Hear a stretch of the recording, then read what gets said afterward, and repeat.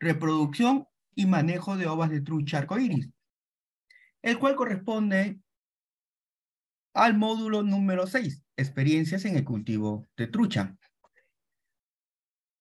Queremos recordar a nuestros participantes que la emisión de los certificados correspondientes al módulo 5 se ha realizado en el transcurso de esta semana que está concluyendo y se ha remitido a los correos que han sido registrados.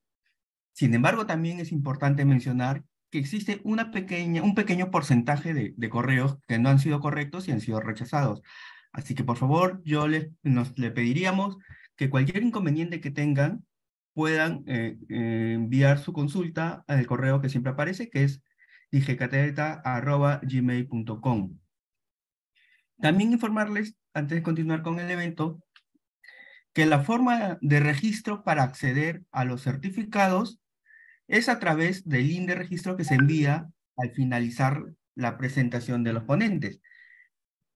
Se le pide por eso que esa, esos datos que se registran sean correctos para no tener problemas a la hora de remitir los certificados. Gracias. Respecto al curso de hoy, en esta oportunidad es el curso denominado Reproducción y Manejo de Ovas de Trucha Arcoiris, estará a cargo de un invitado especial, un invitado de la, de la Pontificia Universidad Católica de Chile. Nos referimos al doctor Iván Valdebenito Isler, que nos presentará sus experiencias y conocimiento en el proceso reproductivo de la trucha. También contaremos con la grata compañía de un profesional muy querido por la IGCAETA y que ahora viene en representación del CITE. Nos referimos al biólogo Gimael Guamán Romaní, que nos acompañará en esta oportunidad en la sección de panelistas para emitir un comentario al final de la presentación, como ya es costumbre en estos formatos de los sábados de acuicultura. A continuación, vamos a presentar los perfiles de nuestro ponente y panelista del día de hoy.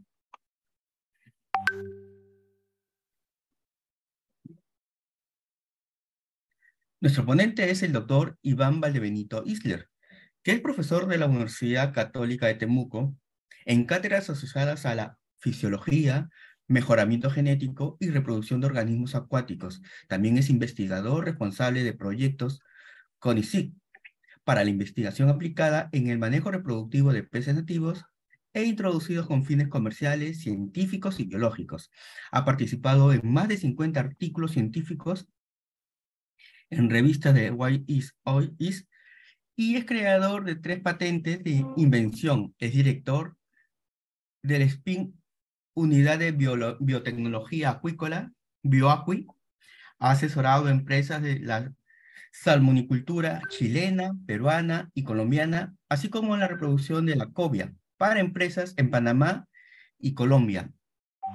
Es colaborador permanente de equipos de investigación de la Universidad del Sur de Bohemia en la República Checa, de la Universidad Politécnica de Valencia y el Instituto de Acuicultura de Torre de la Sal en España. Con el Senadac de Argentina, ha participado también con la Universidad del Magdalena en Colombia, con la Universidad de Santa Catarina y la Universidad Estatal de Maringá en Brasil, y es miembro de la Sociedad de Acuicultura de Chile y actualmente es secretario de la Sociedad Chilena de Reproducción y Desarrollo.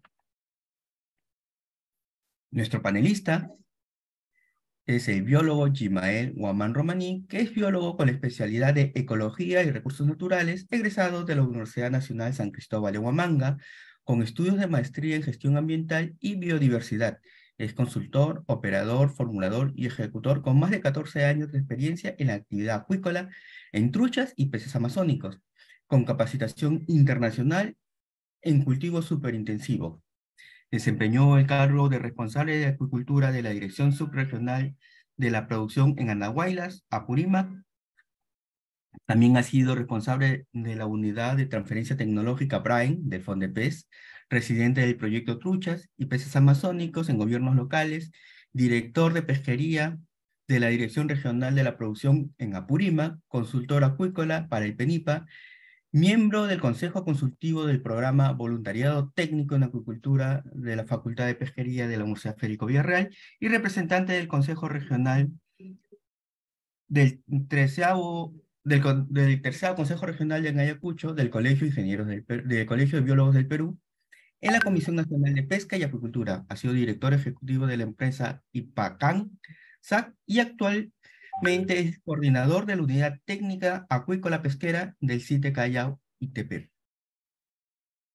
Para dar las palabras de bienvenida en el presente evento, tenemos el agrado de invitar al ingeniero Oscar del Valle Ayala, que es director de la DIGECARETA y que cuenta con reconocida trayectoria en el proceso productivo de la trucha, para que dé las palabras de bienvenida. Adelante, ingeniero Oscar del Valle. Bien, muy buenos días. Primeramente, saludar a los acuicultores activos y potenciales, colegas, futuros colegas y público en general. Y, y, y agradecerles muy especialmente al experto internacional, el doctor Iván Valdebenito Isler, el ponente del día de hoy. Es un ponente de alto conocimiento en la parte acuícola a nivel mundial. En ese sentido, el FONDEPES, en el marco de sus competencias funcionales en acuicultura, buscando impulsar y promocionar el desarrollo y el crecimiento de la acuicultura, ha tomado a bien desarrollar el presente curso Reproducción y Manejo de Ove de Trucha, Arco Iris, para tal fin, se ha convocado pues, a uno de los principales expertos, latino, expertos latinoamericanos en, en, trucha de, que ahorita nos, nos está presente, el doctor Iván Valdebenito Isler. Doctor, le agradecemos en nombre de Fondepes y en nombre del país eh, su valiosa participación el día de hoy y esperamos todos los participantes que estén atentos a la ponencia, hagan sus consultas técnicas y sobre todo eh, veamos que la principal alternativa es la acuicultura y el país tiene que impulsar fuertemente. Hoy en día se habla de la seguridad alimentaria, pesca y acuicultura y cambio climático. Y para eso nosotros tenemos que estar presentes y estar muy preparados. Agradecemos nuevamente al ingeniero Valdebenito e igualmente al, al biólogo Gimael por su participación en calidad de, de apoyo acá como panelista y a todo el público en general que nos visita el día de hoy en los sábados de acuicultura, que vamos a estar expectantes a las inquietudes que tengan ustedes el día de hoy en este gran evento. Nuevamente reiterarle mis saludos, eh, doctor Iván Valdebenito Isler, por su valioso aporte el día de hoy y adelante, muy amable, gracias. Gracias, ingeniero del Valle. Ahora sí, sin más preámbulos, vamos a darle pase al doctor Iván Valdebenito. Adelante, doctor.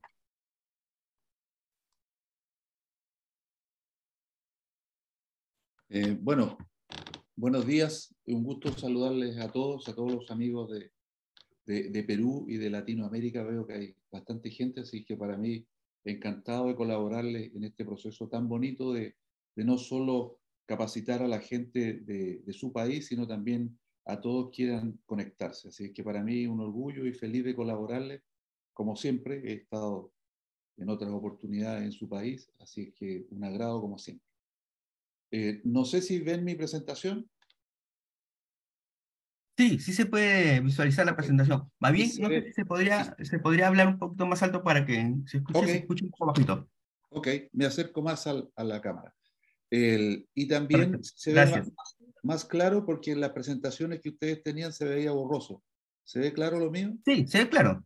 Perfecto, perfecto. Bueno, un gusto de presentarles este, esta charla de reproducción y manejo de ovas de, de trucha arcoíris y eh, solo contarles que he tenido la suerte de, de conocer y trabajar varias veces en, en, Perú, conocer su cultura, por supuesto, su gastronomía y disfrutar de los desayunos eh, del altiplano y, probar comidas típicas de ustedes, donde lo he pasado eh, muy bien. Así que un gusto de, de tocar nuevamente eh, el, este tema con, con ustedes. Yo vengo de la ciudad de, de Temuco, eh, en el sur de, Chile, a 700 kilómetros de Santiago, y ahí está nuestra facultad.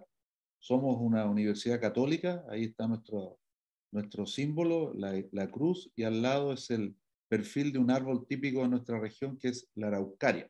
Sea, un árbol, árbol, se han encontrado especímenes de 1800 años de edad en nuestra zona, por eso, y muy importante para la cultura mapuche, de nuestro país. Por eso que está en nuestro símbolo eh, la cruz y también la araucaria.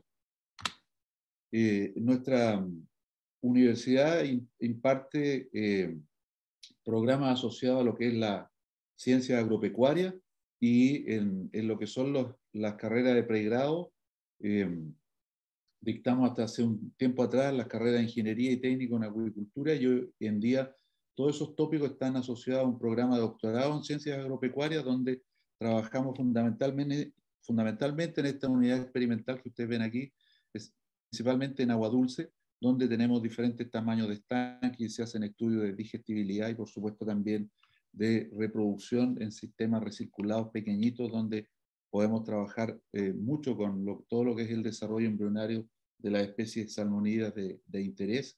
Y sistemas como esto, cada estanque tiene 30 litros de tamaño solamente para trabajar con especímenes pequeños y hacer experiencias proyectables a especies de mayor interés, por supuesto. Así que quería contarles esto porque en nuestra actividad reproductiva tenemos lo que llamamos nosotros un gameto móvil y eh, con él trabajamos en terreno, con lo que es los productores, eh, habilitado con microscopios, con software, con y opciones de capacitación también dentro de él, porque eh, tenemos mucha demanda en todo lo que es, como dice nuestro logo ahí en nuestro gameto móvil, manejo de gametos de peces.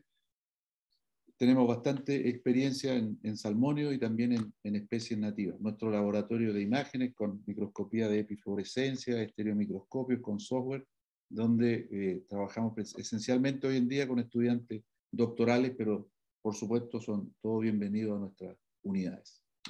Eh, bueno, y ahora entramos al, tema de la, de la trucha un, pequeño comentario acerca de lo que es el ciclo de vida de la, de la trucha, donde comienza con la fecundación y después se desarrolla todo lo que es el, se produce el desarrollo embrionario hasta la eclosión, donde eh, en esta etapa es una etapa crítica para lo que es el, el, desarrollo. Cuanto más pequeño es un organismo, más delicado es y más dependiente de las condiciones de ambientales y, y de manejo que se tengan una vez que se absorbe esta estructura que es el saco vitelino, el pez ya eh, necesita empezar a comenzar a alimentarse y regularmente la, primera alimentación se produce alrededor de las 470 unidades térmicas acumuladas. Este es el promedio diario de temperatura sumado en, en el tiempo transcurrido. Si tengo 10 grados Celsius serán 47 días aproximadamente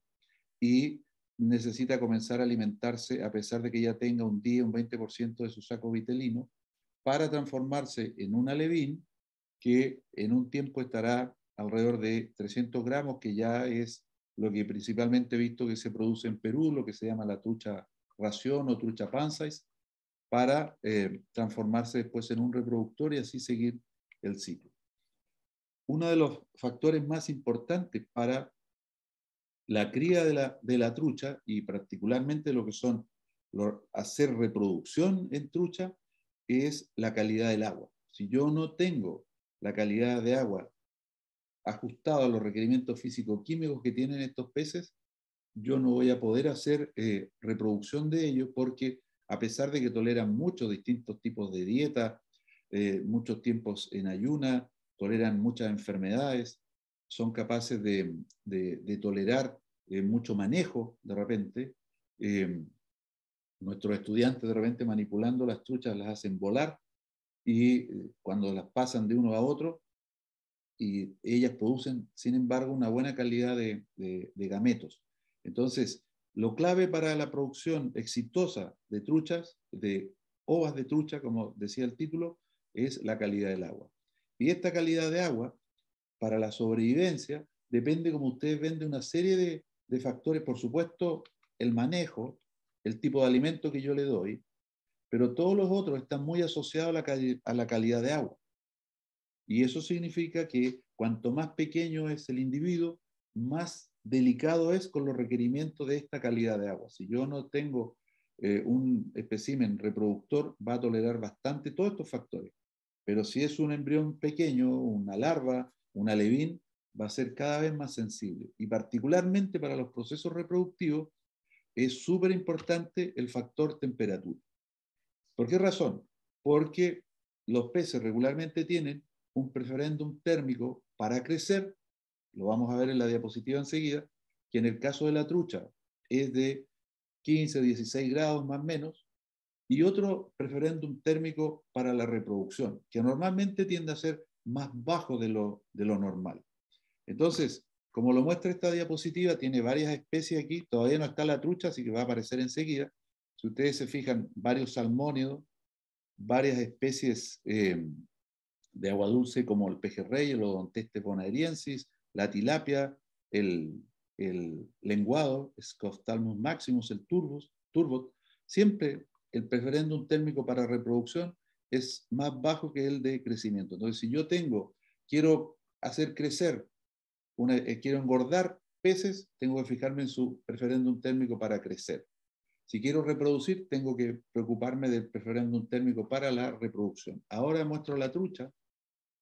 Oncorhynchus micis, yo sé que tengo, tenemos un, un staff muy disperso de, de, gente que está escuchando, entonces voy a usar la nomenclatura científica y también la vulgar. Entonces la, nombre, la trucha arcoiris, su nombre científico es Oncorhynchus micis, y como ustedes ven, su preferéndum térmico es entre 8 a 11 grados según la literatura. Mi experiencia me dice que es de 8 a 10.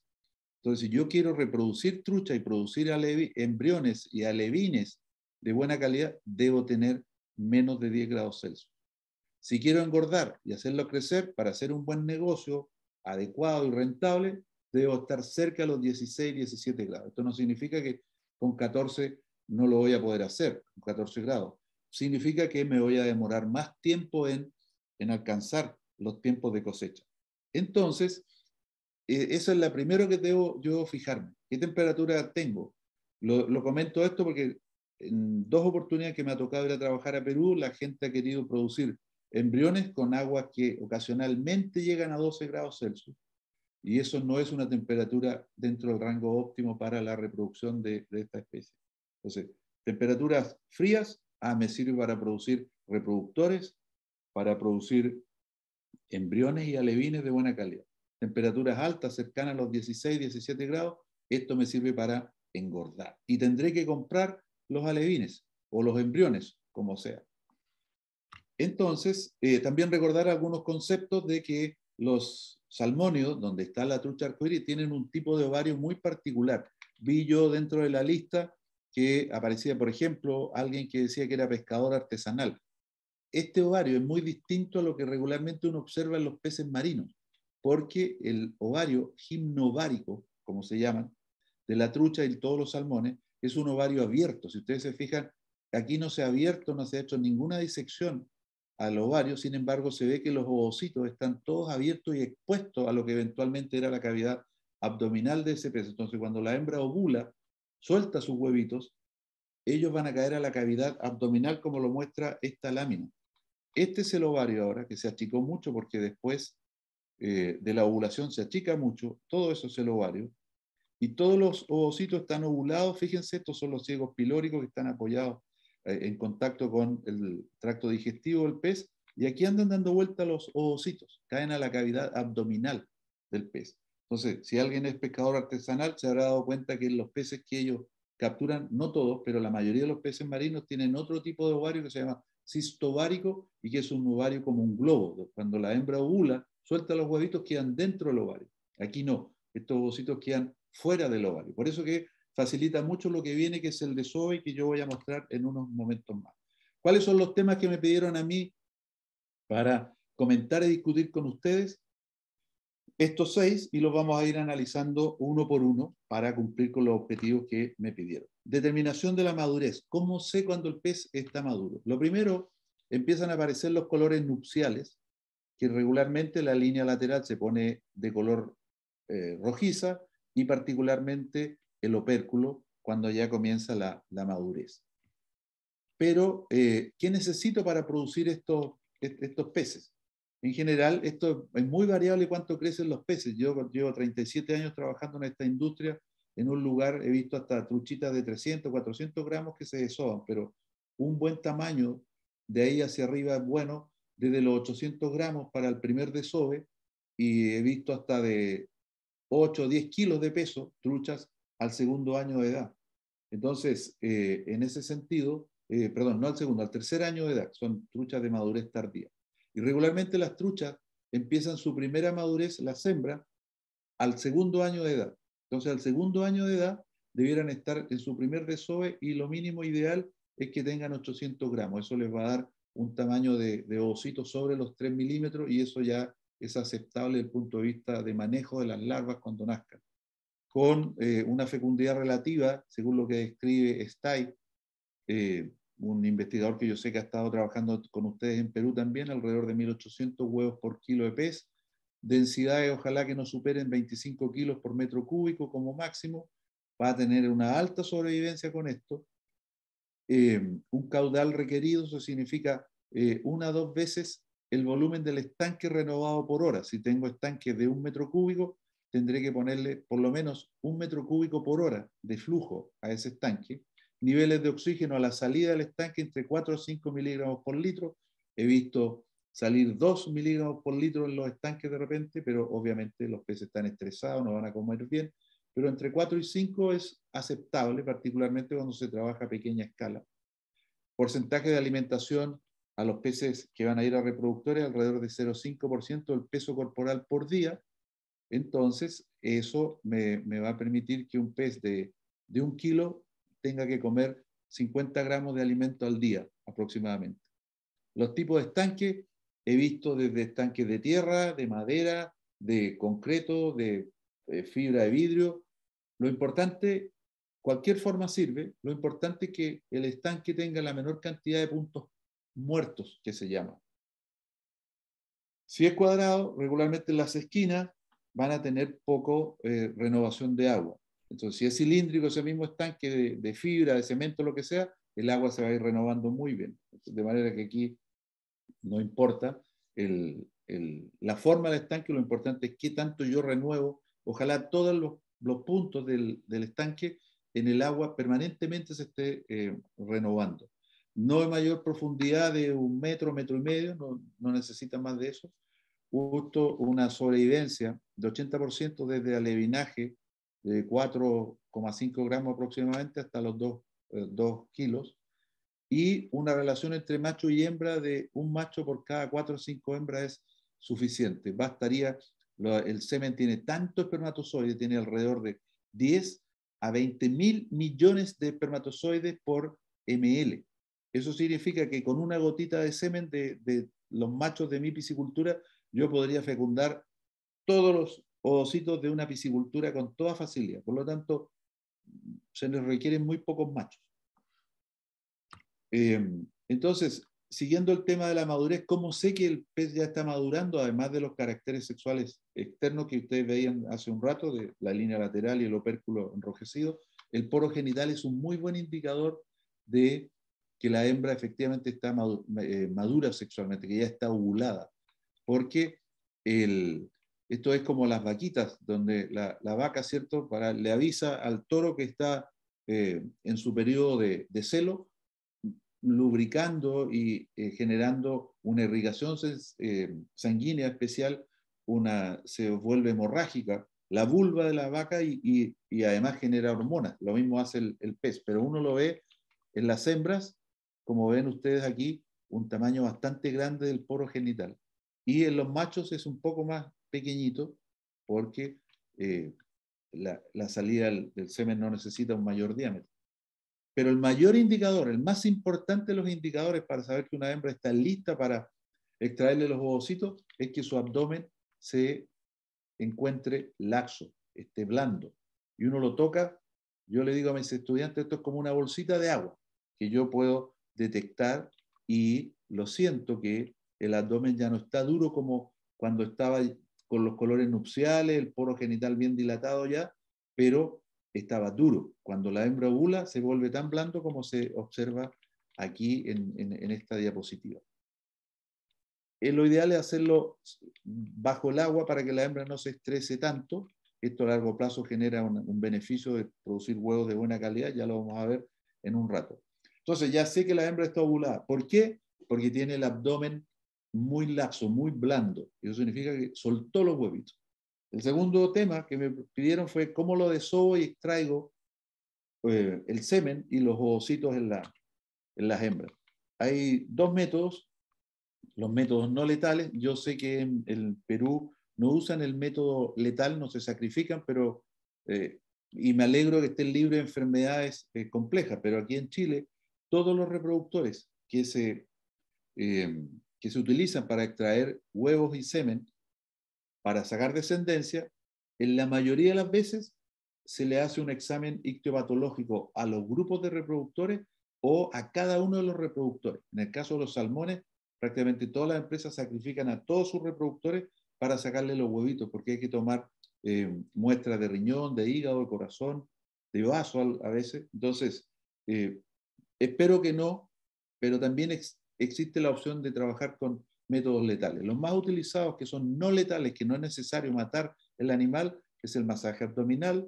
También se le puede inyectar un poco de aire, porque el, cuando hay muchos peces que desovar, el trabajador pierde un poco el cuidado y, y, hace frío, ya dije yo que los salmones y la trucha en particular, ah, perdón, ahora veo que aparece ahí abreviado el TAI, trucha arcoiris, ya como yo no veo las letras aquí porque tengo puesta una barra, eh, trucha arcoiris aparece abreviado como TAI.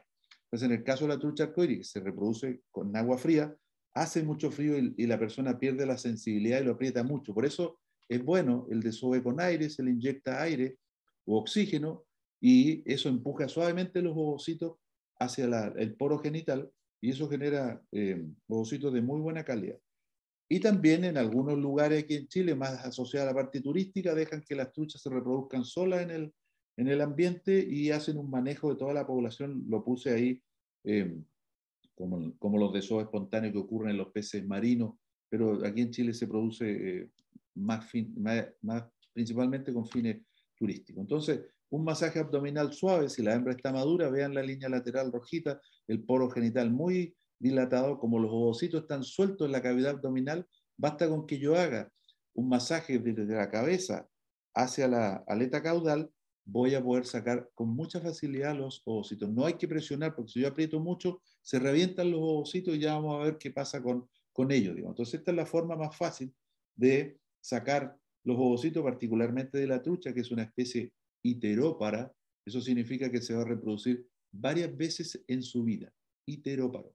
En cambio, los salmones del Pacífico, como el salmón cojo, el salmón chinook, el salmón cereza, etc., son especies semélpara. Eso significa que se van a reproducir una vez y se van a morir. Por eso que hay que cuidar mucho los reproductores de trucha. Regularmente la gente utiliza dos, tres desoves de la trucha. Nosotros en nuestra estación experimental Tiempo atrás usábamos hasta cuatro veces los desoves de la trucha, pero ya eran peces muy grandes, la gente se cansaba mucho y teníamos que usar eh, un sistema de desove. Esta foto es un poco antigua, pero eh, se fijan, ahí hay, esta es una hembra y es bastante grande, pesaban 8 o 10 kilos de peso porque eran de 3 hasta 4 desoves y para sacarle los ovocitos se utilizaban estos desobadores hechos con madera muy rústica con un poco de esponja en el interior para que no se maltraten los, los peces y así la persona se cansa menos y puede hacer el masaje como lo está haciendo ahí mi amiga Denis en su eh, desobador. Entonces, esta tablita de aquí se puede manipular fácilmente y se sube o se baja dependiendo del tamaño de la hembra y la verdad que es muy práctico y la gente lo utiliza eh, eh, bastante bien para no agotar tanto. Hay empresas que desoban al día 1000, 1200 reproductores. No siempre de trucha, porque recuerden que en Chile, o, les cuento en realidad, Chile solo el 8% de los salmones que se producen son truchas. Se produce principalmente salmón del Atlántico, alrededor de un 70%, y alrededor de un 12% más son, em, eh, un 22%, perdón, es salmón cojo, y solo un 8% es trucha arcoíris. En Chile se produce muy poca trucha. Entonces, eh, se en gran cantidad. Y para los machos, lo mismo. Este es un salmón cojo, ya porque mis fotos de trucha son muy antiguas, porque como les comentaba con trucha, como se produce poco en Chile, eh, las fotos más nuevas de mejor calidad son con salmón. Este es un salmón cojo, ahí no se ve, pero está apretando el abdomen la persona en esta zona y ven que salta un chorro de, semen. Las truchas, como les decía, tienen entre 10 a 20 mil millones de espermatozoides por huevito. Insisto, una gotita de esta tiene suficientes espermatozoides para fecundar todos los huevos que quiere, necesita producir Perú, por ejemplo. Chile para salmones y truchas, todo lo que necesita es mil millones de huevitos. Mil millones. Y esto tiene 10 mil millones por ml. O sea, nosotros necesitaríamos en Chile un ml y nos va a sobrar el 90% de los espermatozoides, si que lo manejáramos bien, digamos. También se puede sacar con cánula, a veces eh, los peces no dan mucho semen, esto es salmón del Atlántico, pero si yo compro estas cánulas, que son las que se utilizan para humanos más finitas, también puedo hacerlo con, con truchas cuando no producen mucho semen, pero la trucha produce eh, abundante, pero quería mostrárselo para que sepan que se puede hacer de esa manera. ¿Cómo evalúo la calidad de estos gametos, de los ovocitos de los espermatozoides? Aquí voy a tener que profundizar un poco en temas más técnicos, más científicos. Me van a perdonar quienes eh, no, no, no, no, hayan escuchado acerca de, estos temas, pero eh, súper interesante que lo supieran también, así que voy a hablar de las cosas más simples a las cosas un poco más complejas. En general, ¿cómo puedo evaluar la calidad de los ovocitos?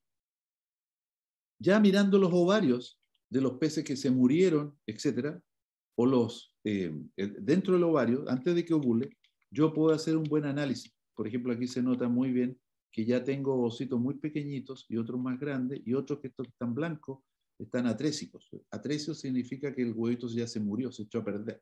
Por lo tanto, no lo voy a tener. Ya una vez que saco los ovocitos, también los puedo revisar con un pequeño microscopio, lo pueden ver, yo les voy a mostrar, y la calidad de los embriones o de las larvas que aparecen. Por lo tanto, esto es, eh, tiene una serie de factores multifactorial que lo que regula la calidad de los ovocitos es difícil saber. Puede ser el alimento, el estrés los afecta, la calidad de agua, dentro de la calidad de agua, la temperatura, ya lo dije yo, es muy importante. Entonces, por eso que es importante evaluar la cómo va mi proceso. Obviamente yo no voy a matar truchas para verle los ovarios, pero de lo que se muere es bueno ir revisando por qué, eh, cómo van los, los ovarios en su formación. Por ejemplo, estos son eh, ovocitos de, salmón, pero se ven exactamente igual en trucha, si ustedes se fijan, son bastante homogéneos en tamaño. Aquí se ve un poquito más chico, pero se ve en color y tamaño muy homogéneo. Esta es una hembra que va muy bien, está comiendo bien, no está estresada y los ovocitos que va a producir estos son de buena calidad. En cambio, hay otras hembras, como esta. Estos ovocitos que están aquí, este y ese, son los como deberían ser en esa, en esa época, ¿ya? alrededor de 2 milímetros de diámetro. En cambio, estos que se ven más blancos, más pequeños, son ya porque se están echando a perder y, estos que están acá un poco hidratados también están em, envejeciéndose y esta hembra no va a producir ovocitos de buena calidad.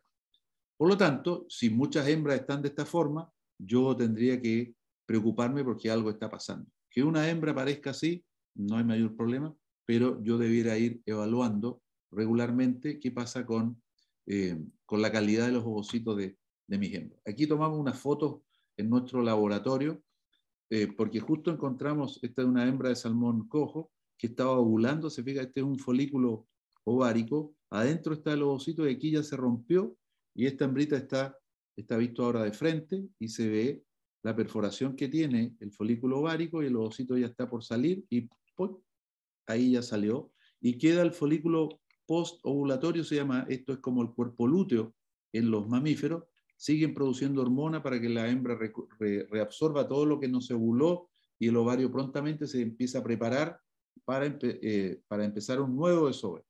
El, el, desove en las truchas va a ocurrir en periodo de invierno, esto está ocurriendo en, en invierno entonces, y ya cuando viene la primavera, se aumentan las horas de luz y de temperatura, la hembra tiene que empezar a prepararse para el desove el próximo año alrededor de 7, 8 meses después, por lo tanto, tiene que, a través de estos folículos postovulatorios, eh, insisto, esta es una especie que tiene otro formato, pero el caso de la trucha hace lo mismo, comienza a producir hormonas para reabsorber todos los restos de ovocito y que el ovario quede listo para ser eh, ovulado el próximo año. Si ustedes se fijan, estos son ovarios también de salmones, pero fíjense lo que muestran las flechitas negras. Aquí hay ovocitos que no se ovularon, ya se ven medio blancos, envejecidos.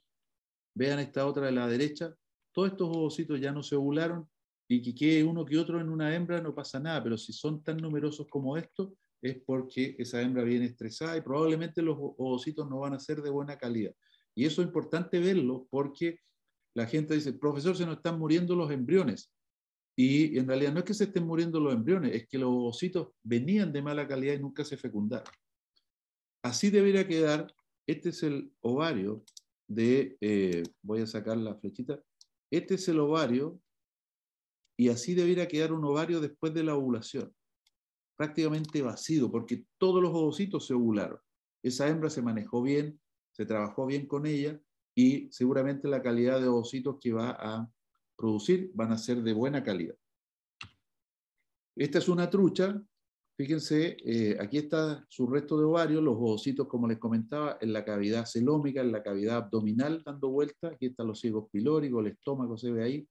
Como es una especie iterópara que se reproduce varias veces en su vida, pueden ver aquí la flechita negra que muestra dos ovocitos envejecidos que eran de la temporada anterior, que seguramente ella no ovuló. Y esto es interesante de discutir. Si yo una hembra no voy a ocupar sus ovocitos este año, porque a veces la hembra ovula muy chiquitita, al año de edad están, no sé, de 300 gramos, yo tengo que tomar a esa hembra, anestesiarla y después que ovuló, sacarle los, los ovocitos y botarlos, porque si se los dejo adentro van a estar todo de este color amarillo y eso probablemente se puede hasta morir esa pobre eh, hembrita.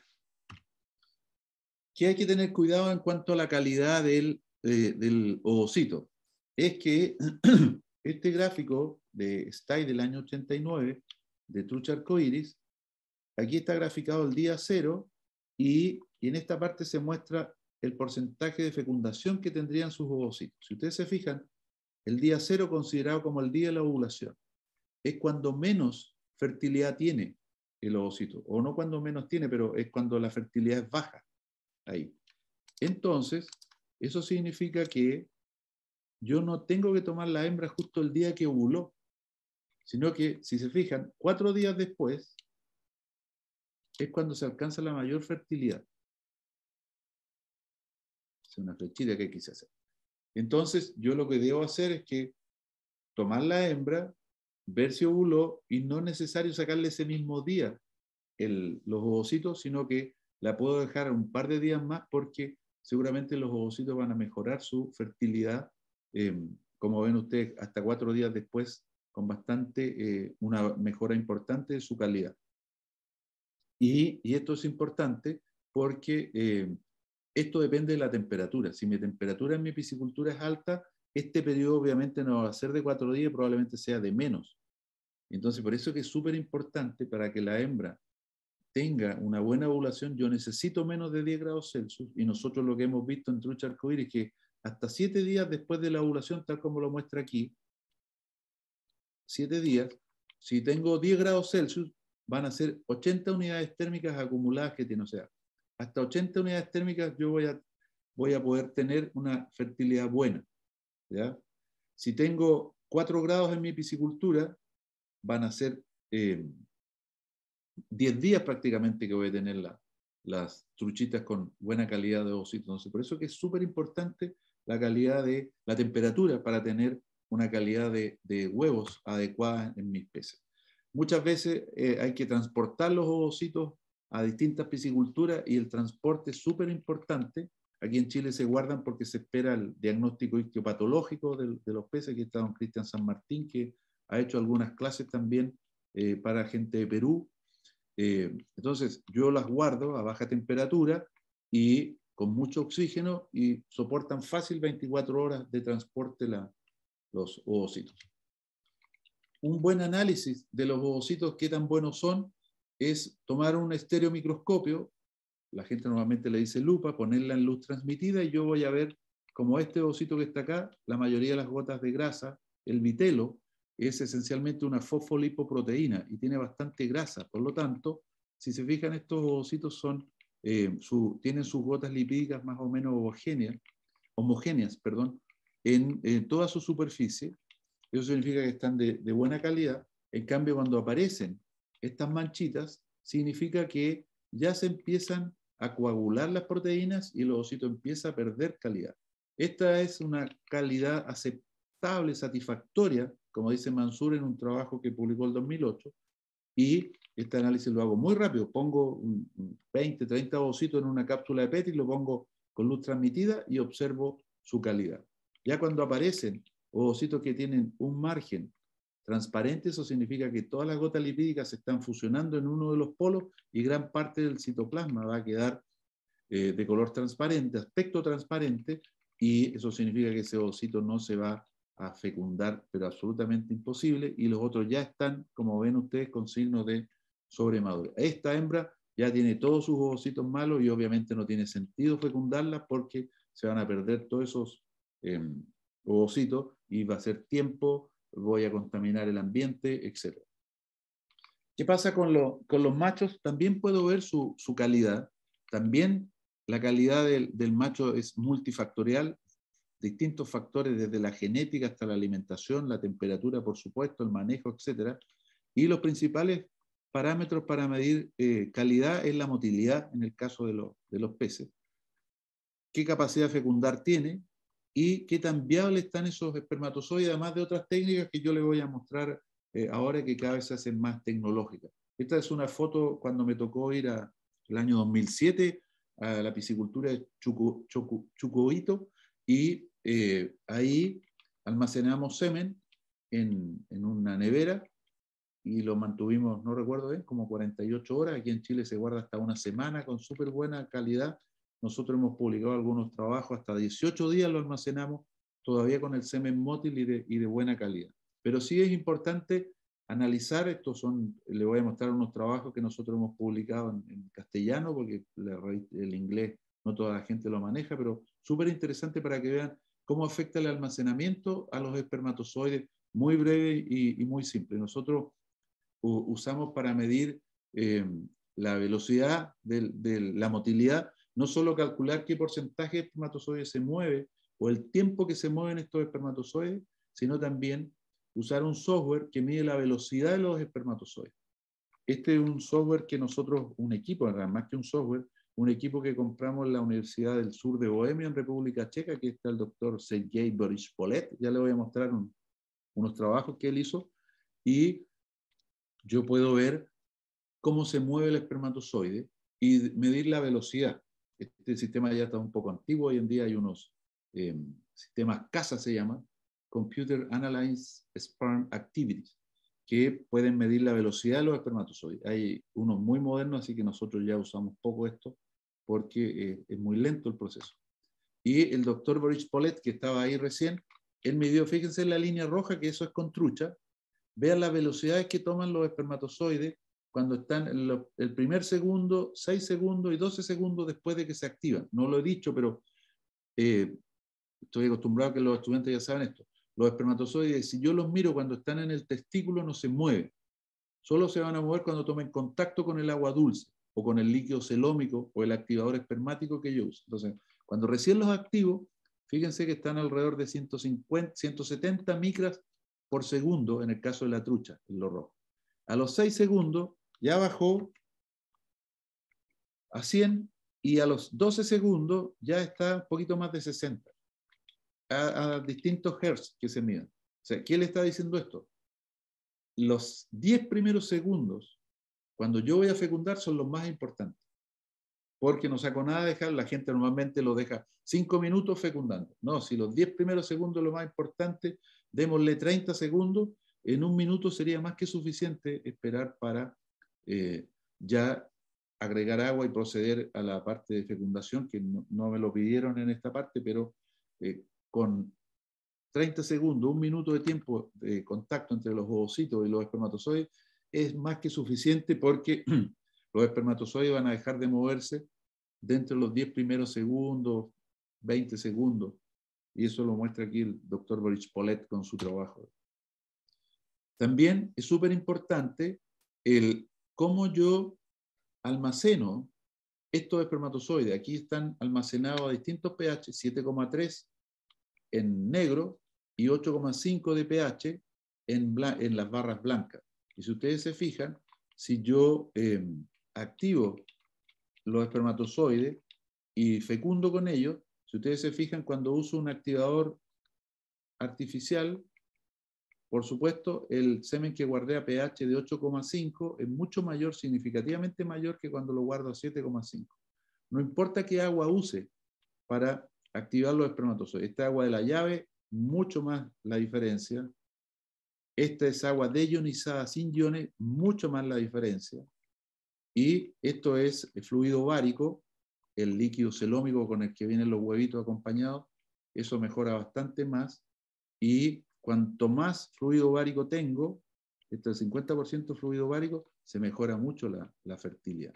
Por eso uno puede usar un activador artificial aquí, pero si tengo harto fluido bárico, mejor todavía porque el fluido bárico o líquido celómico es un muy buen activador espermático. No solo protege a los sino que activa al, espermatozoide. Y, y, aquí está lo que yo les decía, cuando eh, yo guardo el semen refrigerado a 4 grados Celsius, fíjense, esto se guardó, voy a sacar la, la, la plumita, el, desde un día hasta 12 días se guardó el semen. Y si ustedes se fijan aquí, esto es lo que se llama el potencial de membrana mitocondrial. ¿Qué tanta capacidad tiene el espermatozoide para moverse? Si ustedes se fijan, a medida que paso desde el día 1 hasta el día 12, esto va perdiéndose, la mitocondria. La mitocondria es como el motor del espermatozoide. Por lo tanto, en la medida que pasan los días de almacenamiento, ese motor se va echando a perder y no mueve a los espermatozoides. Lo mismo pasa con la integridad de la membrana plasmática. La membrana se va rompiendo cuando se almacena mucho. Y aquí lo pueden ver exactamente lo mismo. Lo contrario ocurre cuando se, se oxidan los espermatozoides, estos oxidarse que se van echando a perder también. En la medida que avanza el tiempo, esto al revés, van subiendo los niveles de anión superóxido, se van oxidando los espermatozoides y se van deteriorando. Por eso eh, regularmente las pisciculturas eh, los almacenan siete días y no más de eso porque ya después se empiezan a echar a perder. Este es un trabajo que hizo una estudiante de, de magíster eh, con nosotros en el laboratorio y está publicado en una revista en castellano, así que si alguien lo interesa lo puede bajar en el archivo de medicina veterinaria. Muy, muy interesante porque está muy simple. ¿Y qué, hace, qué pasa cuando se, se, almacena por distinto tiempo? Este es un análisis en un citómetro de flujo y eh, discúlpenme la gente que eh, desconoce estos conceptos, pero la base es muy simple, se lo voy a explicar. En este cuadrante, esta maquinita, cada puntito de estos es un espermatozoide, o sea, aquí hay millones de espermatozoides y cuando están en este cuadrante de aquí, en esta zona, es porque están vivos los espermatozoides y tienen su membrana plasmática sanita, íntegra. En cambio, fíjense, cuando se empiecen a, deteriorar, van a empezar a migrar al cuadrante de arriba, a esta parte. Entonces, a los cuatro días, fíjense cómo ya aparecen muchos espermatozoides en el cuadrante de arriba. Eso significa que se le rompió la membrana plasmática. Ya al cuarto día tengo bastante. Al día 8, mm, bastantes más. Y al día 12, casi todos están en el cuadrante de arriba. Entonces, con esto uno evidencia cómo se van deteriorando los espermatozoides durante el almacenamiento. Probablemente estos espermatozoides se pueden mover, entonces yo no solo tengo que quedarme en la motilidad, si tengo esta herramienta, lo puedo usar para que no, no solo vea que los espermatozoides se mueven, sino que también que tengan la membrana íntegra, porque a la hora de fecundar no lo van a poder hacer si su membrana no está íntegra. Y así se pueden medir muchos parámetros. Yo solo le estoy mostrando en forma muy general, muy básica esto. ¿Cómo fecundo? Bueno, la naturaleza, la hembra, solo va a soltar su, va a poner o desovar sus ovocitos cuando estén las condiciones adecuadas. Y el macho, obviamente, va a ir a, botar su semen para fecundar estos ovocitos, cosa que no ocurre en la naturaleza. Por eso es que es súper importante y le explicaba lo que estaba viendo recién, que nosotros tenemos que generar y, y, poder identificar en qué momento la hembra tiene los ovocitos de buena calidad, porque puedo perder la mejor hembra si la saco en el momento en que ella ya sobrepasó su, su, madurez, los ovocitos los voy a echar a perder solamente. Y aquí se está fecundando artificialmente, muy rápidamente se distribuyen los espermatozoides, porque hay que tener cuidado, esto no es en, en, en salmonios, pero ocurre lo mismo en todos los peces. La mayoría de los peces tienen un orificio en la cascarita del ovocito y, y, ese orificio se llama micrópilo y es por donde entran los espermatozoides. Por lo tanto, tiene que entrar solo un espermatozoide porque aquí dentro, donde yo estoy dibujando la línea roja, Esa es la membrana del ovocito, lo que yo dibujé. Entonces, el primer espermatozoide que toque aquí va a activar todo el desarrollo. Hay todo un proceso ahí interesante, pero no lo vamos a escribir ahora. Lo importante es que llegue al espermatozoide. Ahora, ¿por qué es importante esto? Es como que yo necesito abrir una puerta y tengo que encontrar la, el hoyito de la, donde va la llave, porque si no la encuentro no voy a fecundar, no voy a poder abrir la puerta. Entonces, eso es súper importante cuando nosotros tenemos esos ovocitos transparentes que estaban sobre maduro, están, además de transparentes, están muy hidratados. Por lo tanto, si yo los manipulo inadecuadamente, se rompen. Y si, si se rompen, esto, la entrada aquí, se va a llenar de grasa, de proteínas. Y obviamente los espermatozoides no van a poder entrar y voy a bajar la fertilidad. Entonces, por eso es mejor que esas hembras que tienen muchos de esos ovocitos no fecundarlas. Y si lo voy a fecundar, tengo que tratarla con muchísimo cuidado, porque si no, se me van a eh, echar a perder los pocos ovocitos buenos que tengan esa, esa hembra. Esto lo, pongo siempre como, como ejemplo. Este es un huevo de gallina y los que nos toca cocinar, a mí me toca hacer los, huevos en las mañanas a mis hijas, y eh, uno observa esta estructura blanquita que está ahí, ese es lo que se llama el blastodisco, que es donde el espermatozoide tiene que tocar para que se active el desarrollo embrionario. Bueno, los salmones, en el caso de las truchas, las truchas tienen exactamente el mismo tipo de huevos. Estos huevos se llaman telolecíticos, ricos en vitelo, en nutrientes. Y si ustedes se fijan, este también, este es un ovocito de, salmón cojo, las truchas tienen exactamente lo mismo, que se ve esto blanco y esto ya se ve que está tiene dos divisiones aquí, una y dos. Eso significa que ya se fecundó y eh, eso yo puedo saber que ya partió bien el proceso. Denme un minuto que mis gatos están molestando y quieren que le abra la puerta.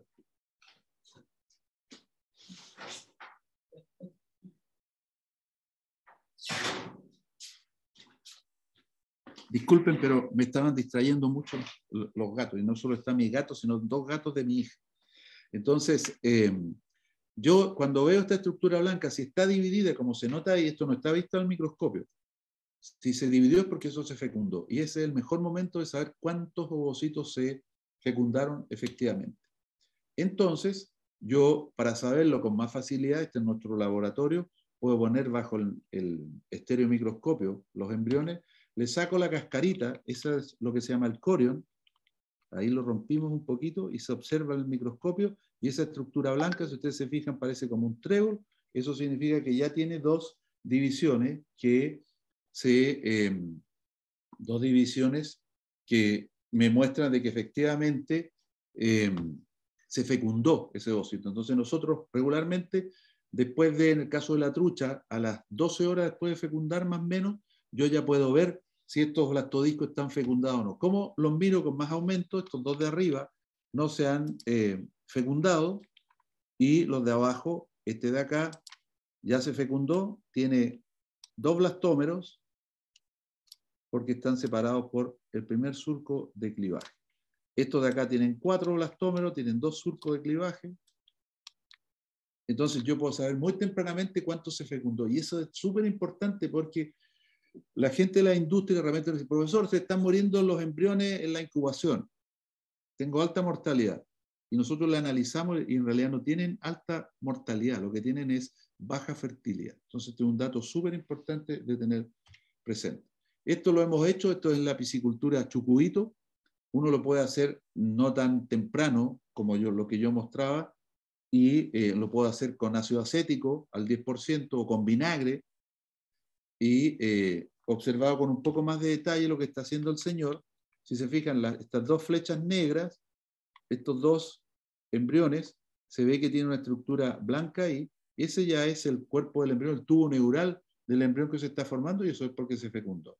En cambio, si miran las flechas rojas, se ve que el blastodisco está tal cual, no se alargó, por lo tanto, eso no se fecundó. Entonces, tomo una muestra rápida y cuento según eh, Bromach y Kumaranatunga del año 85, ellos dicen que es suficiente 20 embriones analizados por cada hembra y voy a tener una idea de qué pasa con la calidad de esos eh, ovocitos de, de esa hembra. Entonces, se puede hacer muy fácilmente esto, pero bastante tardío. Estamos hablando esto eh, casi dos semanas, dependiendo de la temperatura, por supuesto.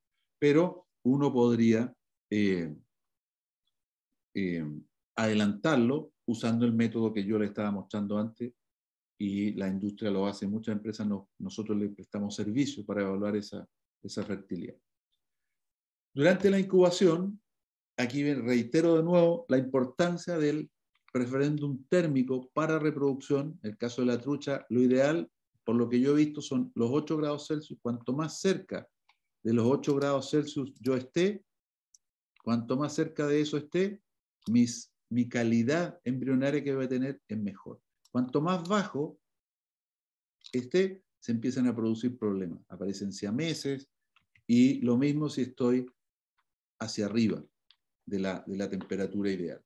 De manera que siempre alrededor de los 8 grados yo voy a tener la mejor sobrevivencia, la mejor calidad embrionaria en el caso de la trucha arcoíris. Y eh, aquí están los tiempos y las unidades térmicas acumuladas, que repito, las unidades térmicas acumuladas para los que no tienen formación acuícola es la sumatoria de la temperatura promedio que yo tengo. Y hay una relación que no es absolutamente directa, pero a mayor temperatura, más corto el desarrollo embrionario. Aquí está nuestra trucha marcada. Esta lámina la voy a volver a mostrar con la parte que está negrito ahora porque vamos a ir avanzando. Entonces, si yo voy a incubar a 8 grados Celsius, yo para llegar al estado de embrión de ojos pigmentados, eso significa que ya está bien firme ese embrión, necesito 175 unidades térmicas acumuladas. Para nosotros normalmente lo que hemos visto en nuestra zona son 210, pero como estamos citando un trabajo de Edward, tiene 175. Pero regularmente nosotros ya a las 210 unidades térmicas uno ve el ojo normalmente. Si yo tengo 10 grados Celsius, para hacerlo fácil, esos son 17 días de incubación. ¿Ya? Eh, aquí está el desarrollo completo de la trucha arcoíris en toda la fase de, de, incubación. Si tengo 10 grados Celsius, son 31 días, alrededor de 310 unidades térmicas. Y si ustedes se fijan, a mayor temperatura, yo regularmente tengo, si tengo mayor temperatura, las eh, unidades térmicas acumuladas para su desarrollo son mm, relativamente mm, bajas o menores. Por eso le decía yo, la relación no es absolutamente directa porque depende también de otros factores. Por ejemplo, de la concentración de oxígeno. Si el oxígeno es bajo, el desarrollo va a ir un poco más lento. Eh, también hay empresas que para controlar los hongos de eh, los embriones le ponen agua con un poco de sal. También retrasa un poco el desarrollo, pero ustedes ven que hay una relación eh, directa. Mayor temperatura, menor tiempo de desarrollo. Y hay que tener cuidado con las malformaciones. Las malformaciones embrionarias en los peces, no solo en salmones, son multifactoriales, pero en el caso de los de los salmones que no desoban espontáneamente dentro de los estanques, ya la gente que trabaja con peces marinos, como mi, mi, colega y amiga, la doctora Adriana Rodríguez, que veo que está escuchando, me, me, está bromeando por el tema de mis gatos, que le fui a abrir la puerta. Eh, los peces marinos regularmente ellos desoban espontáneamente dentro de los estanques, en cambio los salmónidos no, por lo tanto hay que sacarle los ovocitos podría yo entonces, si no le saco a tiempo los ovocitos, no la desobo a la hembra a tiempo, voy a eh, perder calidad. Por eso el envejecimiento de los ovocitos o la sobremadurez, como quieran llamarle, es un factor súper importante en la salmonicultura o en la truchicultura, porque además de todos estos factores, esto es clave. Yo puedo tener el mejor pez, la mejor hembra, pero puedo tener la bajísima fertilidad porque no lo saqué a tiempo.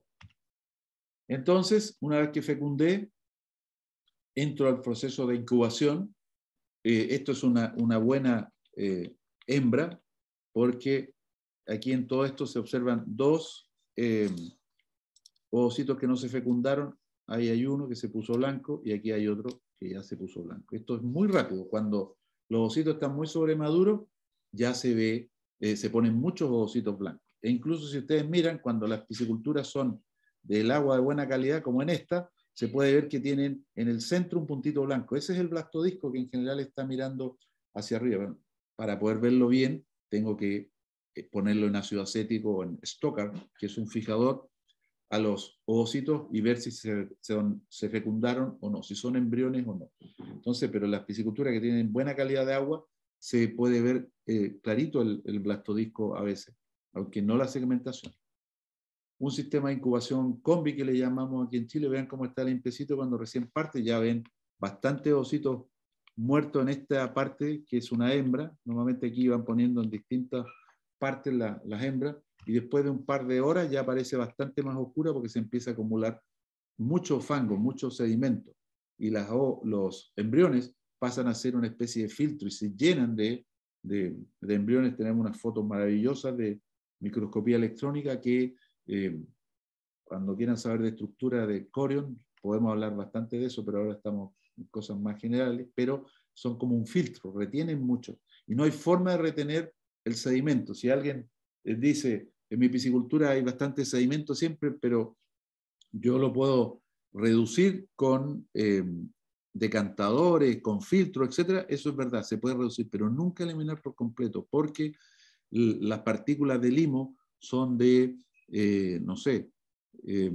he visto gente que trabaja con filtros de 5 micras y rápidamente se filtra. Se satura el filtro, perdón, se filtra no, se satura el filtro y además a 5 micras, las bacterias que hay en los ovocitos que nosotros hemos visto tienen menos de 2 micras. Por lo tanto, van a pasar por esos filtros, aunque estén limpios. Entonces, es súper complejo. Es, yo puedo reducir los sedimentos, pero nunca los voy a eliminar. Eh, ¿Qué debo hacer para incubar?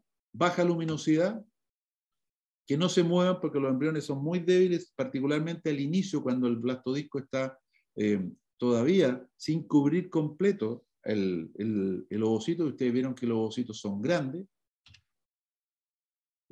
Por lo tanto, aquí estas son fotos un poco antiguas de, eh, de incubación. El sistema de incubación oscurecido, poca luz, ahí veis que eh, una ampolleta que es móvil y la van llevando donde yo quiero trabajar, el resto se ve absolutamente oscura, eso es importante. No es necesario que esté absolutamente oscuro porque en el fondo del río es verdad que hay menos luz y el embrión se protege un poco con este sedimento que se va cubriendo encima, pero eh, la mayoría de las empresas lo dejan absolutamente oscuro. Bueno, no es malo, pero tampoco es una necesidad absoluta. Las baterías de incubación pueden ser de distintas formas colores, materiales, lo que ustedes quieran, pero lo importante es que en, el caso de los incubadores horizontales, como estas bandejas que nosotros eh, se usan mucho en Chile, es que yo tengo estas bandejas de incubación con estos alerones para generar un efecto de surgencia que se llama upwelling en inglés, que el agua surja hacia arriba de los ovocitos y los atraviese a todos. O puede ser al revés también, pero regularmente el agua va desde abajo hacia arriba y las va a ir bañando a todas. Estos son los incubadores Tegna en la piscicultura Chucubito, cuando me tocó ir allá el año 2007.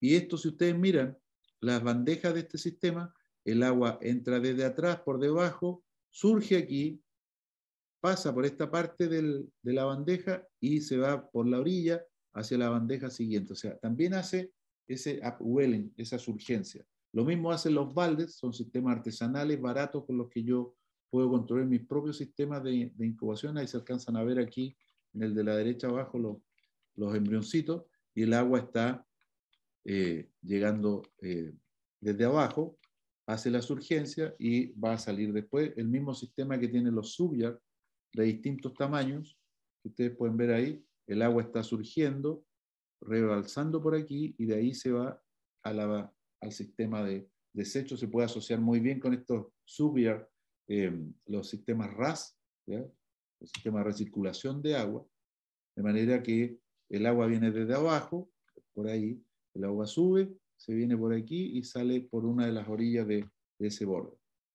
Dentro de los, de los más modernos están estos Hemtouch que eh, son súper interesantes porque se puede hacer hasta la absorción de saco en estos, en estos sistemas y, eh, y eso eh, son equipos bastante costosos, pero permiten sin duda hasta la, la, absorción de saco dentro de, los, de, los, de los sistemas, que tienen, ya lo voy a comentar, tienen un sistema especial para que los, em, las larvas o los embriones libres no se maltraten y lo vamos a comentar enseguida y mejoren la sobrevivencia. Esto es una piscicultura de aquí de, de, de Lautaro, fundada en 1914 y em, usan estos hit que mostraba también yo en Chucuito, Chucuito de 1939, si no me equivoco, estaba puesto ahí.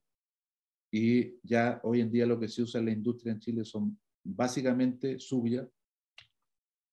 Y estos big subia son de un metro cúbico prácticamente y se pueden incubar aquí un millón de embriones de, de salmón. Seguramente la trucha que tiene ovocitos y embriones más chicos se pueden mucho más eh, de un millón de, embriones en un solo incubador. Sin duda que son buenos, pero son como ir en un vehículo a alta velocidad. Si yo voy a alta velocidad en un vehículo, voy a llegar más rápido. Y eso es cierto.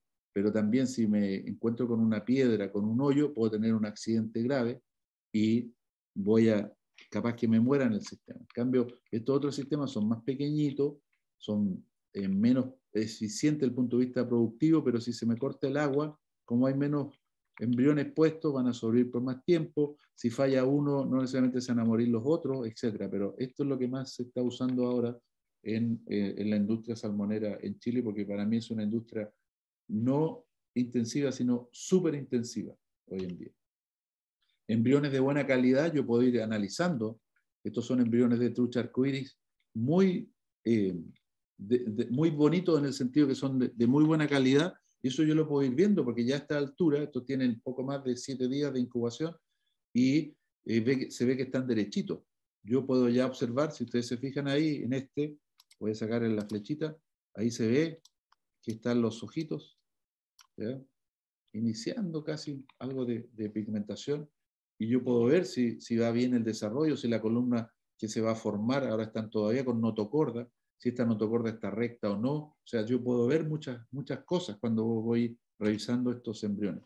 Sin duda que el gran problema de la incubación, o en general toda la fase de agua dulce, son los hongos de saprolegnia y lo que está debajo de todo esto que parece pelo es un embrión, esto es microscopía electrónica de barrido, y todo esto son todos hifas de, de este hongo saprolegnia, decimos siempre, pero hay varias especies, pero la más importante es saprolegnia.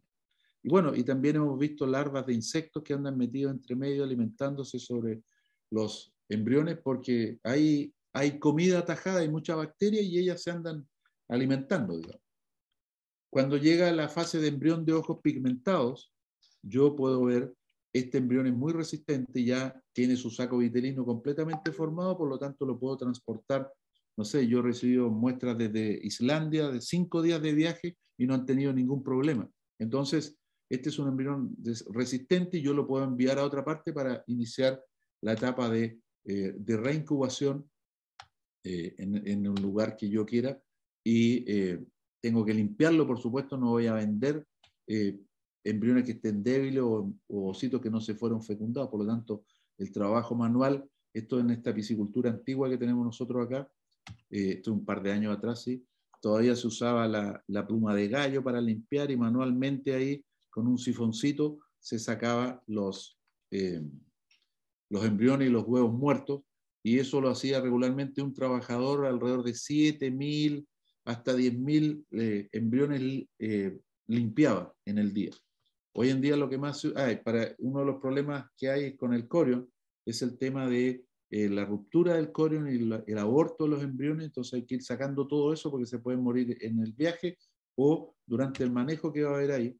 Por eso que se hace este choking o este golpe que se le da a los embriones se sifonean desde una altura relativamente de un metro y medio y se tiran a un balde que ya tiene un poco de agua ahí y con ese golpe se mueren todos los ovocitos, o no, no todos, casi todos los ovocitos que no se fecundaron, los embriones débiles que se ponen blancos y empieza a hacer el trabajo que se estaba indicando ahí.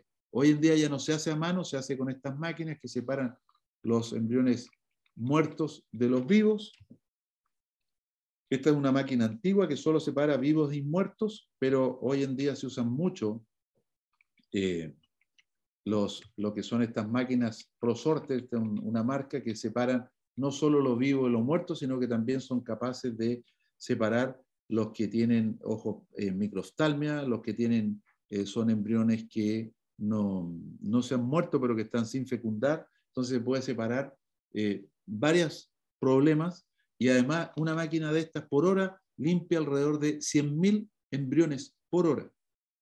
En cambio, una persona no llega a las 10.000 diarias. Entonces, por eso se usan mucho en las distintas pisciculturas. Vale alrededor de 80 mil dólares cada una de estas, así que no son muy, muy baratas. Y bueno, y aún así las máquinas se equivocan y se pueden, em, eh, hay que repasar en la selección que hace las máquinas, y aquí esto se hace manualmente, el ojo humano no falla.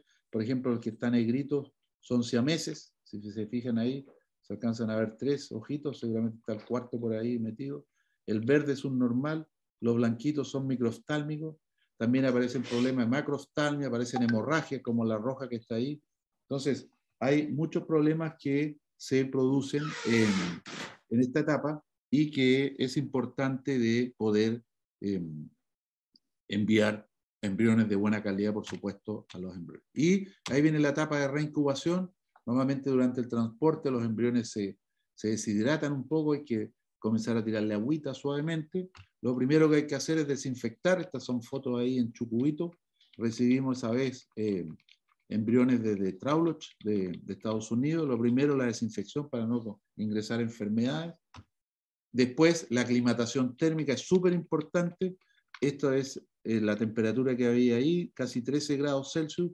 Las cajas normalmente llegan entre 4 a 6 grados Celsius, por lo tanto no puedo yo meter directo de esa temperatura, 4 a 6 grados, directo a los 12 o 13 que tiene mi agua, lo que tengo que hacer es aclimatar y ojalá poder hacer hielo con la misma agua en la piscicultura y yo enfrío esa agua, la dejo a la misma temperatura que vienen los embriones, los dejo ahí posteriormente y abro la llave suavemente para que aproximadamente en la temperatura vaya subiendo a un grado Celsius por hora. Eso significa que voy a dar el tiempo al embrión para que se aclimate, no se me deforme ni se me muera en ese shock térmico. Lo hicimos ahí con los amigos, estas son fotos de ahí, y mejoramos bastante la sobrevivencia porque ellos cuando llegaban, los em, embriones los pasaban directo a la temperatura del agua que tenían y haciendo esta aclimatación la bajamos muchísimo. No recuerdo yo en este rato, pero fue bastante. Entonces, a la eclosión necesitamos, en el caso de la trucha, 370 unidades térmicas. Si tengo 10 grados Celsius, son 37 días. Y ahí viene en la eclosión estas larvas que se caracterizan porque mm. tienen, son gregarias, van a estar... Doctor, ¿Sí? Doctor, parece que se han congelado las láminas. Estamos en la ah. lámina Perdón. Sí, vi un mensaje de la doctora Rodríguez. No se ven, profe, no se ven las diapositivas. Uh, eh, voy, a, voy a bajar y voy a apagar mi cámara para ver si... Eh, correcto. Para, voy a dejar de presentar y de ahí la vuelvo a subir otra vez, ¿ya? Sí, correcto. Mi cámara. Qué raro, nunca había tenido problemas. Ya. Entonces, em,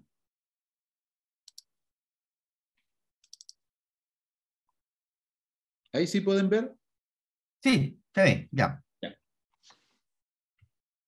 Entonces, esta larva, biológicamente, si hay algún biólogo escuchando para que no me reclame, es un embrión libre, es muy gregaria, eso significa que quieren estar todas muy juntas y tengo que no poner mucho en un mismo estanque porque si no, y que los estanques no sean muy grandes, si no las voy a encontrar todas amontonadas en algún rincón del estanque y se va a producir asfixia, se va a reventar el saco vitelino del cual ella se está alimentando aquí. Tienen fototactismo negativo, ellas se esconden de la luz porque saben que en la naturaleza, si se van al fondo del río, van a protegerse entre medio de los intersticios en los espacios que hay de, las piedras y así no se las va a comer ningún depredador. Entonces ellas se van al fondo con este fototactismo eh, negativo y o geotactismo positivo también eh, se van a ir hacia la tierra. Tienen la boca abierta, aunque todavía no tienen necesidad de comer. En el caso de los salmones, otros peces no nacen con la boca abierta y tienen un sistema digestivo indiferenciado, aun cuando, si ustedes se fijan ahí, ya hacia lo que es el, el ano, ahí está el ano de este embrioncito, se ve medio amarillo, eso significa que está digiriendo, pero no está comiendo, no tiene la necesidad de comer. Por lo tanto, poca luz.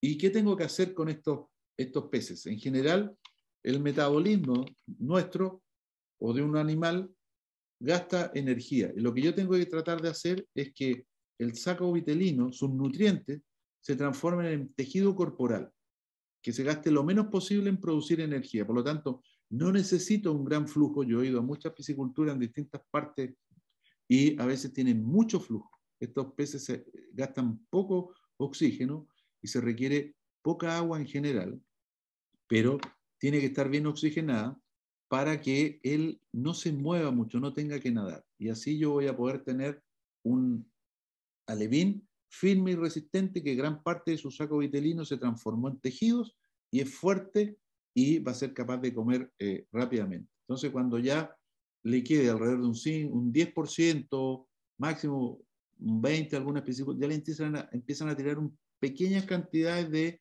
comida para que se vayan habituando. Esto es como un bebé cuando está todavía amamantándose, pero la mamá cuando está almorzando le da un poquito, una cucharadita, un poquito de, fruta, un poquito de, algo ácido, un poquito de sopa, para que vaya habituando su tracto digestivo a ese nuevo alimento del cual va a depender absolutamente cuando se le acabe el, saco vitelino.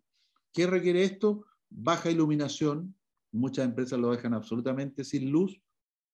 Está bien, pero no es tan relevante, pero sí, no una alta iluminación, no más de 10 kilos por metro cúbico, caudal, un recambio por hora, no mucho porque, como les digo, que no se arrastre, eh, oxígeno, 5 a 6 miligramos por litro en la salida, idealmente, Aquí se muere regularmente el 10%. Les decía yo en mi introducción que en la naturaleza el 80% se muere en esta etapa, porque no aprenden a comer, se lo comen otros depredadores. Iba a durar alrededor de 700 unidades térmicas acumuladas, y esto es eh, súper importante también, no lo anoté aquí, se me olvidó, eh, no más de 20 centímetros de, columna de agua, porque el peso del agua lo, va a dañar el saco vitelino y se van a reventar eh, mucho. No mucha comida porque si no abajo empiezan a proliferar bacterias y ahí se infectan ellas, las branquias, etc. Entonces ahí tenemos completo ya hasta la primera alimentación. En el caso de la trucha necesitamos alrededor de 520 unidades térmicas acumuladas. O sea, si hoy día estoy fecundando, tengo 10 grados Celsius en mi piscicultura, prácticamente antes de dos meses yo debería tener ya mi sistema de primera alimentación limpio, ordenado y con un poquito de alimento para empezar a ofrecerlo. El alevinaje cambia absolutamente. Aquí yo puedo aplicar 24 horas de luz, darle bastante comida, 2 a 3% del peso corporal por día. No mucha luz tampoco, 400 lux en la superficie del agua. Alimentación la mayor cantidad de veces que puedan, pero en pequeñas cantidades para que no se acumule sedimento en el fondo que puede dañar los peces después. Cualquier tipo de estanque, aquí he visto desde estanques de plástico, eh, que no sean oscuros, ¿ya? En alguna oportunidad eh, trabajamos con unos estanques que eran negros, en realidad los peces no, por contraste no ven la comida y estaban muy flacos. Y ahí nos dimos cuenta lo que más se utiliza son el gris perla, la mayoría de, los, de las pisciculturas, porque eso les facilita bien eh, a los peces eh, ver el alimento. De cualquier color que no sea negro, funciona bien y que no sea muy oscuro. Densidad 10 kilos por metro cúbico, caudal 1 a 1,5 recambios por hora, eso también es variable, depende de mi calidad de agua, oxígeno también altos niveles. La primera selección hay que ir desdoblándolo a los 0,5 gramos, saco los más grandecitos, dejo todos los grandes en un lugar. Cada 15 días más o menos en esta etapa, uno tiene que ir haciendo una graduación para que el más grande no se coma al chico, porque siempre se va a ir produciendo una diferencia, una dispersión en las tallas y eso es importante evitarle en esta etapa. Cada 15 días se hace una, una selección. Sobrevivencia sobre un 90% si lo manejo bien y en esta etapa 700 UTA voy a tener sin ningún eh, problema. Aquí vean alimentación automática las 24 horas del día, eh, eh, estanques tipo bateas que son rectangulares de fibra de vidrio, estas son de concreto, Aquí tienen estanques verdes a la intemperie, o sea, Eh, aquí la circulación no es muy buena, pero funciona, eh, funcionaba bastante bien en una piscicultura pequeñita aquí en la zona. Ya estos peces están bastante grandes, por eso que ven los estanques, estos no tienen más de medio metro de altura, pero están bastante llenas, la columna de agua es bastante alta. Aquí están recién comenzando la primera alimentación, si se fijan, no hay más de 20 centímetros de, de altura ahí. Y aquí ya están comiendo súper bien, con alimento 24 horas, 24 horas de luz sin ningún problema. También aquí iniciando la primera alimentación, por eso que está bajito el, nivel, mucho aseo, mucho uso de pediluvios, maniluvios para no pasar de una sala a otra algunos patógenos, que no tengan estrés, súper importante también. Ya cuando están comiendo, estos son Arctic Char, una especie que se, se eh, son muy gregarios, están a altas densidades, esta es una trucha arcoíris normal, si se fijan, se distribuyen muy bien en todo el estanque, esperando la comida que les va a llegar a cada instante. Y ahí yo voy a tener alevincito de 2, 4 gramos de peso que ya los puedo transportar a cualquier parte con un sistema de engorda que quieran y poder engordarlo como yo lo he visto en, el lago Titicaca, en Lagunillas, etcétera, en Perú, aquí en Chile, etcétera, en sistemas de balsas jaula, en sistemas de estanques grandes, etcétera. Entonces, ahí tengo peces fuertes, sanos, que sin duda pueden hacer, pueden hacer exitoso un proceso de producción en cualquier parte del mundo como es la trucha arcoíris. Eso era lo que yo les quería contar. Ahí está el, el título y aquí están, he tenido más de 80 tesistas en mis cortos 37 años que tengo, así que si hay alguno escuchándome, encantado de saludarle y eh, gracias por su atención.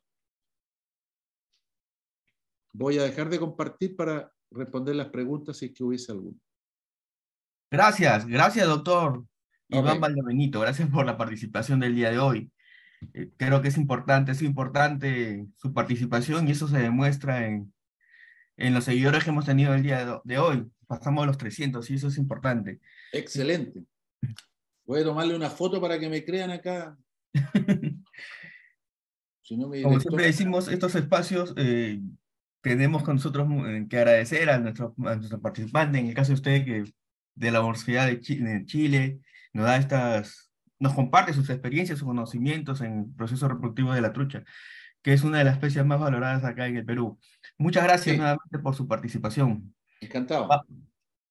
vamos a, a pasar a, a, la sección de, de comentarios de panelistas, pero antes queremos recordar a nuestros participantes que registren sus nombres, sus datos, eh, nombres, apellidos y los correos en el link que se va a enviar, en el enlace para que puedan registrar y así poder acceder a sus certificados. Bueno. veo a mi amigo Paul, Paul, Baltasar ahí que está levantando la mano, así que por favor, denle, derecho a una pregunta, Paul. vamos a registrar la pregunta de todos nuestros participantes y al final vamos a hacerle llegar, doctor Iván. Bueno, vamos a pase al biólogo Jimael Guamán para sus comentarios de, de la sección de panelista. Adelante, biólogo. Bueno, gracias Carlitos. Eh, primeramente eh, agradecer al Fondepes por hacerme la invitación y asimismo, ¿no? Eh, por, por, las palabras de, de, de, inicio, ¿no? Igualmente, tengo un cariño muy enorme a ustedes, son siete años que hemos compartido ahí en el Fondepes y el cariño es enorme, mutuo creo que, ¿no? Eh, tenemos entre, entre los compañeros que hemos, tenido, hemos estado en esos tiempos en el FONDEPES. Bueno, al respecto, eh, primeramente felicitar al doctor Iván Valdedemito eh, por su brillante presentación. Vemos que están haciendo un trabajo muy minucioso, un trabajo de investigación allá en Chile al respecto en el tema del manejo de la trucha, ¿no? En este caso en la reproducción. ¿No? Al respecto, en nuestro país, eh, para indicar, ¿no? en nuestro país nosotros venimos desarrollando una acuicultura con unas dependencias eh, tecnológicas y asimismo económicas. ¿no? Eh, a razón que tenemos distintos pisos ecológicos. Aquí en el Perú realizamos la crianza de trucha hasta, hasta en selva, ¿no? Desde 1.200 metros, de, metros sobre el nivel del mar hasta los 4.500 que la, la, trucha se ha condicionado en nuestro país de muy buena manera, de muy buena forma. El desarrollo de la actividad en aquí está eh, yendo mm, creciendo muy aceleradamente. eh, reiterando, con muchas dependencias tecnológicas y económicas, ¿no? En, aquí en el Perú realizan la crianza de trucha eh, en zonas de pobreza, pobreza extrema y en el más rincón de nuestro país, en nuestro Perú profundo. ¿no? Eh, sobre el tema eh, indicado sobre su ponencia, una brillante presentación. Vemos la investigación que ustedes están haciendo muy minucioso, a que nosotros haríamos una comparación que realizamos un trabajo, tal vez un seguimiento con, con los productores en una zona de pobreza extrema cuando tuve la oportunidad de estar en el Fondepes, en esos siete años que estuvimos, hicimos un trabajo de seguimiento en ceja de selva. Estamos hablando a 1800 metros sobre el mar en el tema, lo que usted ha expuesto, el tema de la reproducción.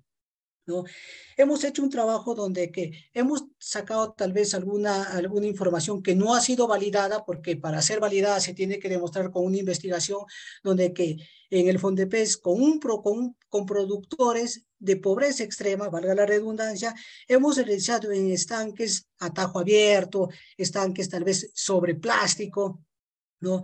Eh, hemos hecho la reproducción, donde que hemos tenido muy buenos resultados. Por ejemplo, ¿no? una de las partes técnicas donde que usted indicaba que la capacidad de carga es 25 eh, kilos por metro cúbico. Bueno, nosotros hemos hecho ensayos por las condiciones de la temperatura del agua, hemos hecho ensayos hasta con, eh, con 18 kilos por metro cúbico. En el manejo de recambio de agua sí hemos utilizado dos recambios de agua.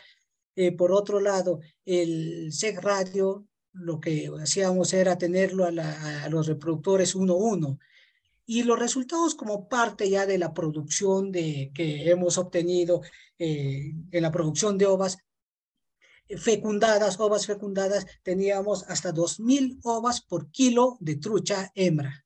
¿no? Y por otro lado, y si nosotros hemos hecho, hemos hecho también un seguimiento en comparación de una de las de las ovas, perdón, de las ovas de origen importado de cualquier nacionalidad que nos hayan mandado, ejemplo, hemos tenido un factor de conversión de 1.1 en mejor de los casos, ¿no? Y con estas ovas eh, que hemos hecho reproducción en ceja de selva, reiterando, a, a 15 grados de temperatura, a 1800 metros sobre el mar, teníamos 1.14, 1.18. Eh, o sea, no había una diferencia significativa. ¿no? Lo que sí teníamos eh, la dificultad en este caso era que la producción era mínima. ¿no? La producción era mínima. Un productor te, te, sacaba una producción no mayor a 50 mil alevinos, ¿no? Era mínima. Son eh, primeros ensayos que estuvimos haciendo, estábamos haciendo estos trabajos y ahora con esta ponencia nos sirve a nosotros para poder invitar a la academia, a las universidades, a tal vez hacer un trabajo bastante minucioso y hacer estos seguimientos, lo que usted hizo. Ah, soy biólogo de profesión y me da, me da idea, me da luces para poder hacer otros trabajos así, tal vez en conjunto, en alianza con, la, con las universidades, ¿no? Bueno, eso sería por mi parte, por, eh, como panelista, reiterando el agradecimiento, la invitación y la felicitación al doctor Iván por su brillante presentación. Muchísimas gracias, Carlitos. Muchísimas gracias a todos. Gracias. Gracias, gracias, biólogo Jiménez Gracias por su participación. ¿Puedo hacer un comentario sí, adelante, adelante, doctor. Em, sí, yo creo que eh, sin duda que la opción de la producción de la, acuicultura en general es el futuro para la producción de alimentos en todo el mundo. Las opciones que tiene Perú, que tenemos en Sudamérica con abundante agua dulce, súper importante para lo que es la trucha. Y sin duda que es una muy buena opción para pequeños productores para gente de pequeños recursos, pero yo eh, tengo que comentar y ser transparente en esto, esto no es para que gente de pocos recursos pueda hacerse autosuficiente en la producción de sus peces, porque lamentablemente la trucha es carnívora y tengo que darle algo de proteína animal y eso no, lo, no tiene disponible como tiene la gente que produce, eh, no sé, bagres, que produce lisas, donde los peces pueden, iliófagos que, que se alimentan del fondo, que comen insectos, larvas de insectos, etc. Entonces ahí hay que tener cuidado con los proyectos gubernamentales, porque aquí se necesita para tener los factores de conversión que me parecen súper buenos lo que decía el colega, 1.1, 1.2, eso es buenísimo, tengo que tener un buen alimento y ese alimento es caro. Aquí en Chile cuesta más de casi 3 dólares el kilo. Entonces obviamente la gente de pocos recursos no tiene ese dinero y hay que estar apoyándolo permanentemente. Y por eso no es fácil trabajar en este, estas no son las mejores especies para trabajar con eh, gente de pocos recursos si yo no la estoy apoyando como gobierno permanentemente. Por lo tanto, para mí, el FONDEPES, el trabajo que hace es súper importante, pero creo que hay que tener presente que esto yo no puedo dejar solo a los productores porque eh, se requiere el alimento que no es barato y, eso implica que son eh, apoyos permanentes que se tienen que tener. No es como enseñar a criar carpas como se hace en China, con muy pocos recursos, fertilizando el agua con desechos de las porquerizas, de los gallineros, de la producción de seda, etc. Y, y, yo puedo tener alimento para mis peces. Aquí hay que pensar de que siempre voy a tener que estar apoyándolo porque el alimento es caro. Yo alcancé a notar, eso es un comentario, alcancé a notar algunas preguntas de, de Ángel Estrella, y de Dora Fernández. No sé si ustedes van a leer esas preguntas de ellos. Sí. Ya, ok. En este momento vamos a, darle pase justo a mi colega, a la ingeniera Bárbara Bernaola, que ella va a desarrollar una dinámica que siempre hacemos respecto a cuatro preguntas que se le ha hecho llegar al público.